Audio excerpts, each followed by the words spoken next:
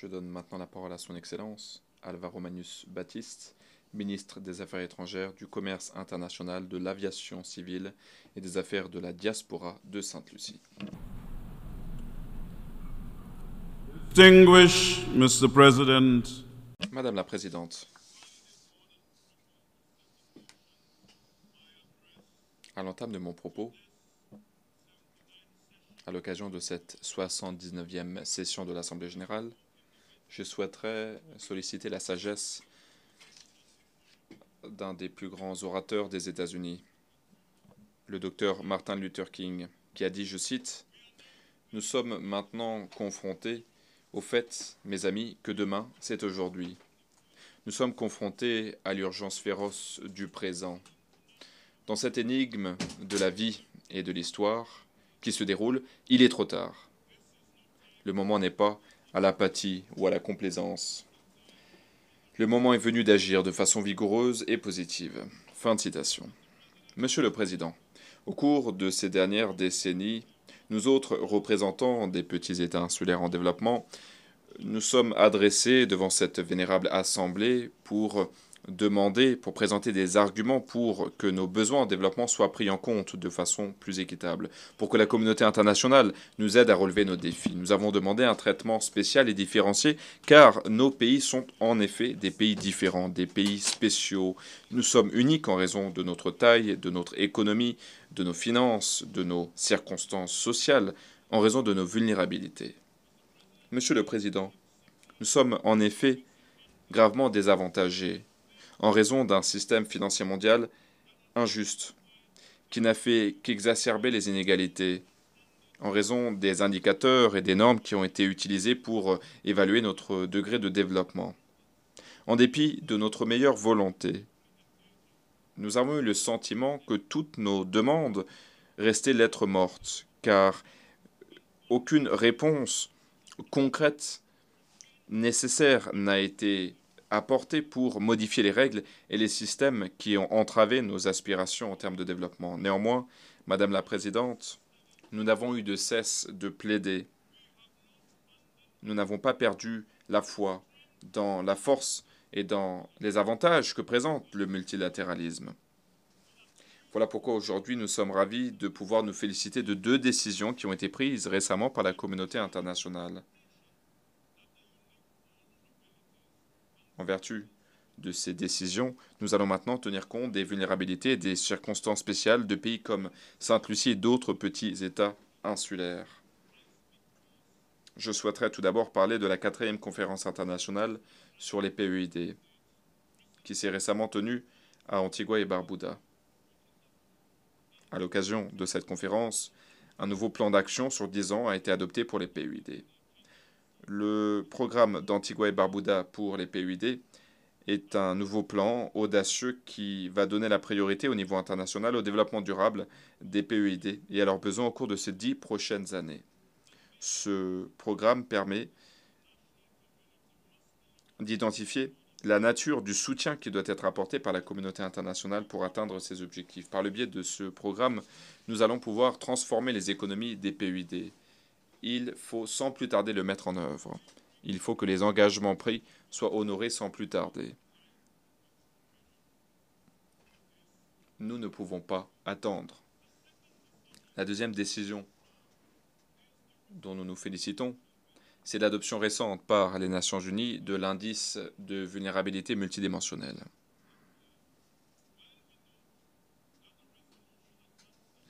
La résolution appelle de ses voeux une adoption sur une base volontaire pour cet indice, mais nous exhortons la communauté internationale à adopter sans plus tarder et à mettre en œuvre cet indice. Il a fallu à la communauté internationale 32 ans pour élaborer et adopter cet outil nécessaire, vital pour le développement durable et la justice mondiale. Nous ne devons pas attendre 32 ans de plus pour tester et pour mettre en œuvre cet indice. Cet indice doit être utilisé dès à présent. Nous ne pouvons pas attendre.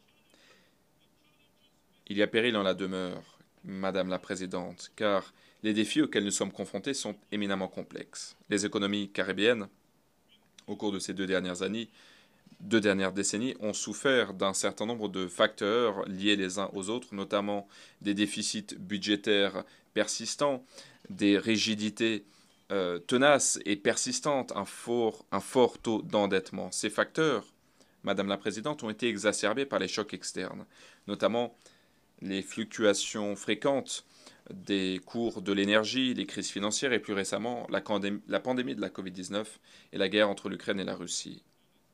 Sans mentionner, sans parler de la plus grande menace existentielle qui pèse sur nous, le changement climatique. À cet égard, Madame la Présidente, nous devons agir urgemment pour mettre un terme au changement climatique, pour progresser sur la voie de la lutte climatique. L'Assemblée générale connaît bien l'impact destructeur et violent que le changement climatique peut avoir. Nous savons quelle est l'ampleur du péril auquel le monde est confronté, notamment les PUD. Mon pays est déçu et atterré de voir qu'après des années d'activité de plaidoyer de la part du PUD pour créer le fonds pertes et préjudices lors de la COP28, ce fonds qui aurait dû être opérationnel à la date du mois de juillet dernier ne l'est toujours pas. Voilà pourquoi Sainte-Lucie exhorte les parties intéressées à opérationnaliser sans plus tarder le fonds pertes et préjudices, afin que les PUD puissent recevoir le soutien dont ils ont besoin, à une échelle suffisante pour qu'ils puissent se remettre de l'impact catastrophique des événements climatiques pour permettre la reconstruction des sociétés et des économies. Par ailleurs, il est essentiel, à l'occasion de la prochaine COP, la COP 29, il est essentiel de protéger les circonstances spéciales des PUD. Et cela doit être opérationnalisé dans tout l'agenda euh, de la lutte climatique. Nous ne pouvons pas attendre. De la même façon, le monde doit indemniser les PUD pour l'injustice de la crise climatique dont nous souffrons. Ces pays qui alimentent leur développement économique par le biais, qui ont alimenté leurs économies par le biais de la traite des esclaves, ceux qui ont réduit en esclavage nos ancêtres africains, doivent payer des réparations pour ce crime contre l'humanité qui a été infligé aux populations qui ont été amenées depuis l'Afrique dans les Caraïbes et dans les Amériques. Il faut également indemniser les populations autochtones de ces régions. Madame la Présidente Sainte-Lucie réitère l'appel qui a été lancé lors de la 78e session de l'Assemblée générale des Nations unies.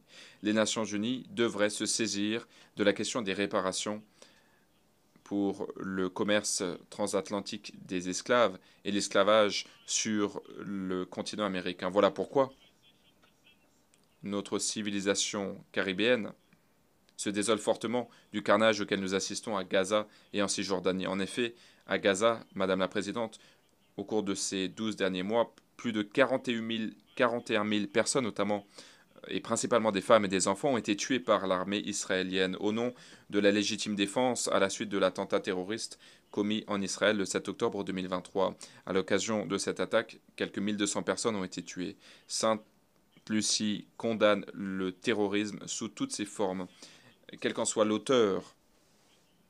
Néanmoins, le travail humanitaire est l'une des victimes de ce carnage. Depuis le mois d'octobre l'année dernière, 289 travailleurs humanitaires, y compris 207 membres de l'UNRWA, ont été tués à Gaza. Par ailleurs, plus de 110 journalistes ont été tués. Monsieur le Président, cette guerre en Palestine, et certains ont parlé de génocide, quel que soit le mot que nous utilisons, il faut que cette guerre cesse aujourd'hui faute de quoi le monde n'a pas d'avenir.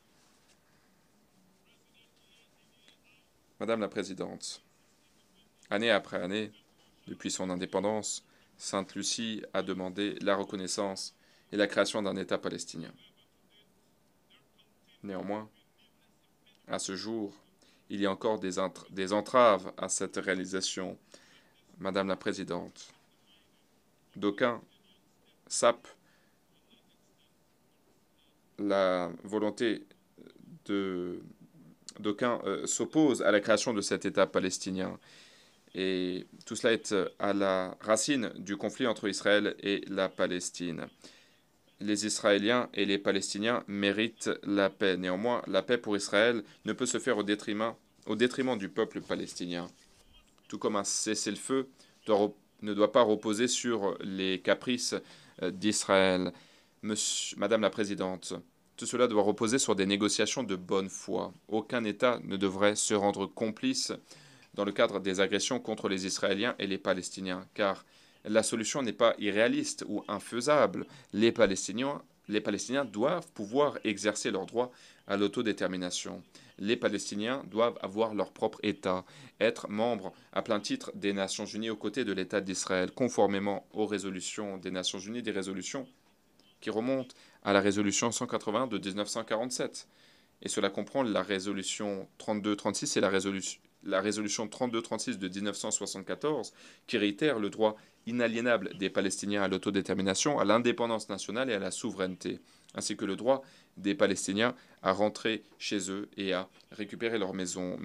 Madame la Présidente, la seule façon de bâtir un avenir juste et pacifique au Moyen-Orient, la seule façon pour Israël d'avoir des frontières sûres, c'est pour le peuple palestinien de pouvoir vivre dans son propre pays reconnu par la communauté internationale.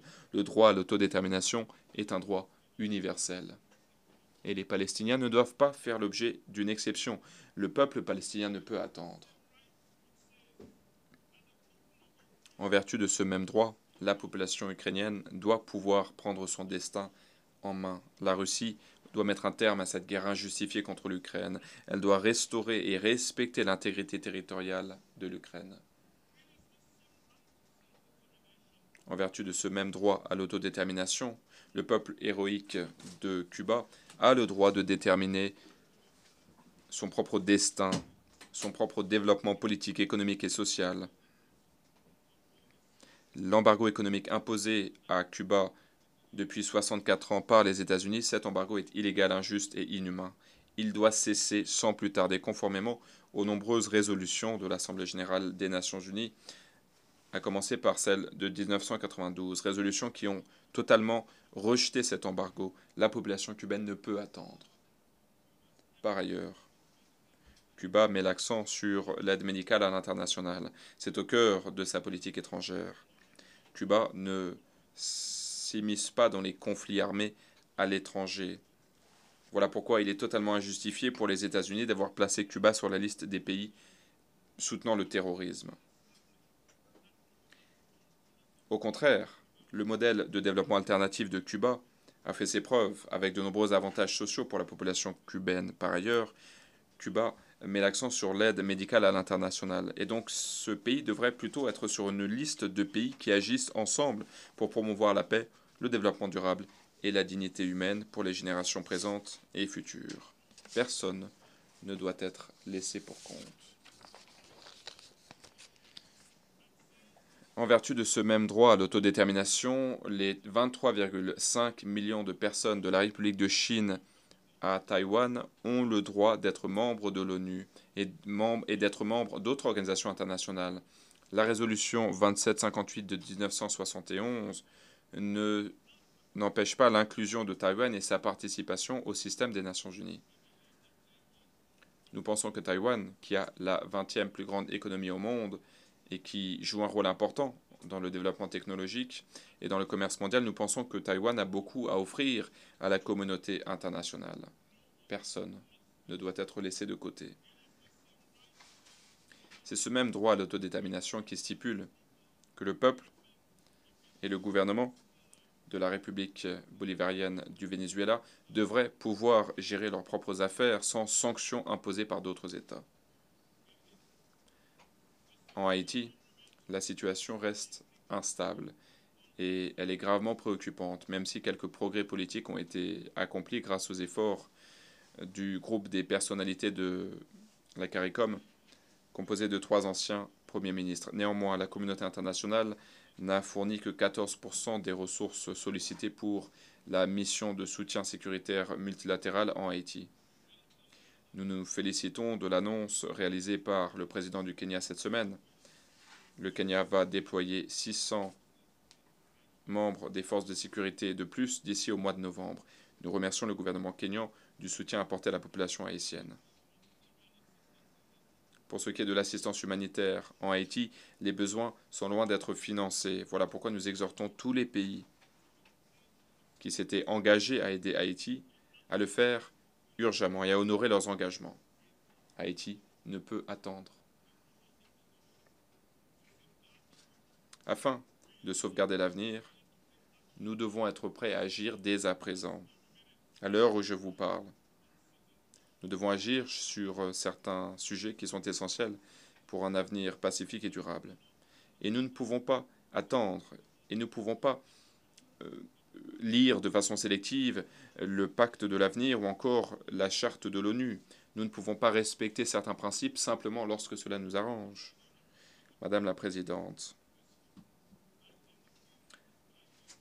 cette semaine a eu lieu le sommet de l'avenir et les délibérations de la 79e session de l'Assemblée générale. À cette occasion, la communauté internationale semble avoir compris qu'elle ne peut plus procrastiner, qu'elle ne peut plus prendre du retard, qu'elle ne peut plus repousser à plus tard les actions dont nous avons besoin pour un avenir meilleur.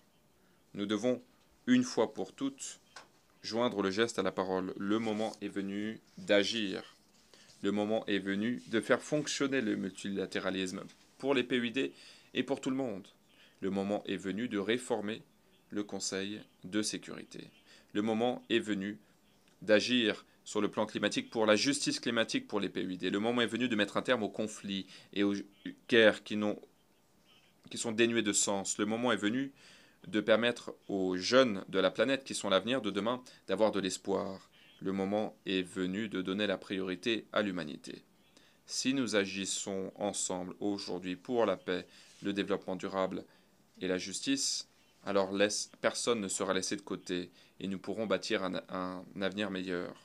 Voilà pourquoi, Madame la Présidente, nous devons agir dans l'urgence féroce du présent. Sinon, nos discours et nos résolutions, comme l'a dit le docteur Martin Luther King, nos discours et nos résolutions ne seront rien d'autre qu'une pièce de théâtre dénuée de sens, jouée sur les planches de l'histoire et couverte d'opprobre.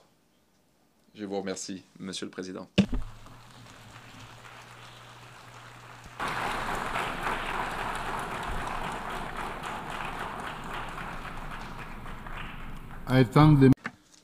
Je remercie le ministre des Affaires étrangères, du Commerce international, de l'aviation civile et des questions relatives à la diaspora de Sainte-Lucie.